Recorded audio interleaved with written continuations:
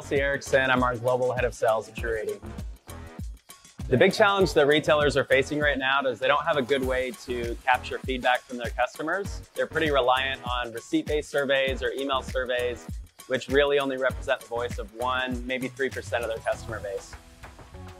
TruRating helps retailers capture feedback from their customers by integrating the feedback process right into the purchase experience. So what we do is we have a patented integration with the payment software that will show one question right on the payment terminal.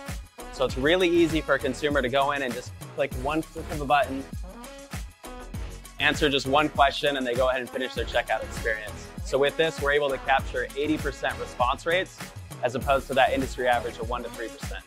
TruRating is actually the only company in the world that has this patented technology to ask the question right on the payment terminal.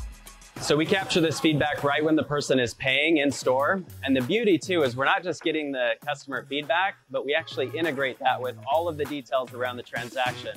So we know the products they're buying, we know how much they spend.